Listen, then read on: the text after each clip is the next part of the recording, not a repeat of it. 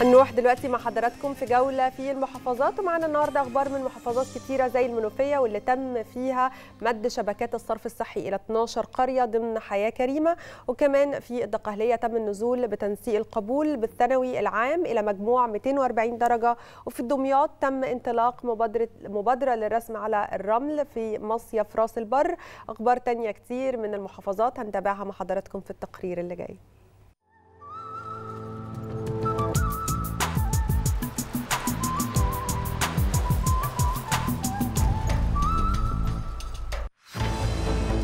محافظات مصر شهدت امبارح أخبار وأحداث كتيرة. البداية من دمياط اللي نظمت فيها الهيئة الإقليمية لتنشيط السياحة بالتعاون مع الوحدة المحلية لمدينة راس البر مبادرة للرسم على الرمال. شارك فيها أطفال فريق الرسم بمكتبة مصر العامة وذوي الهمم.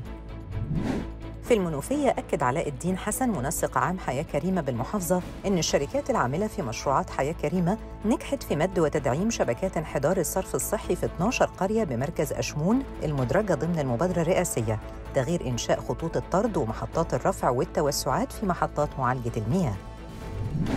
في بورسعيد تم تنفيذ أكبر خطة لتطوير ورفع كفاءة الطرق بنطاق المحافظة خلال الفترة اللي فاتت وبلغت حوالي 70 كيلو متر باعتمادات مالية تخطت ال 100 مليون جنيه.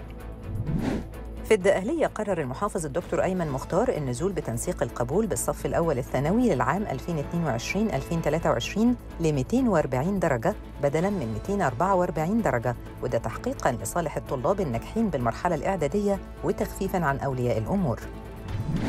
في الفيوم ناقش المحافظ الدكتور أحمد الأنصاري آليات وضع دراسة مرورية متكاملة على أسس منهجية وعلمية لمدينة الفيوم وده علشان فك تكدسات السيارات والاختناقات المرورية وتيسير حركة المواطنين بالميادين والشوارع الرئيسية. في الشرقية أوضح رئيس شركة مياه الشرب والصرف الصحي بالمحافظة أنه تم الاتفاق على مد وصلات مياه الشرب ل 500 أسرة من الأسر الفقيرة بقرى مبادرة حياة كريمة بمركز ومدينة الحسينية بالمجان وده وفقاً لضوابط ومعايير متفق عليها من أجل وصول الدعم لمستحقيه وتوفير حياة كريمة ليهم. في مطروح أكد المحافظ اللواء خالد شعيب أنه بالتنسيق مع أمانة المراكز الطبية المتخصصة تم الاتفاق على تقديم الخدمة الطبية للجميع وبأسعار مخفضة والأمانة الطبية المتخصصة وافقت على تحديد قيمة الكشف الطبي بخمسة جنيه فقط بمستشفى براني المركزي ده غير إجراء التحاليل والأشعات بأجور رمزية. في الجيزة أكد المحافظ اللواء أحمد راشد أن مشروعات مبادرة حياة كريمة الجاري تنفيذها داخل 42 قرية بمركزي الصف وأطفيح بتتضمن إنشاء عدد من مواقف السيرفيس والنقل الجماعي لتوفير سبل الراحة وتيسير حركة المواطنين. في مطروح أصدر المحافظ اللواء خالد شعيب قرار بتشكيل لجنة بكل مجلس مدينة لتلقي طلبات الراغبين في الحصول على قروض من صندوق التنمية المحلية بالتيسيرات الجديدة المقدمة من الوزارة.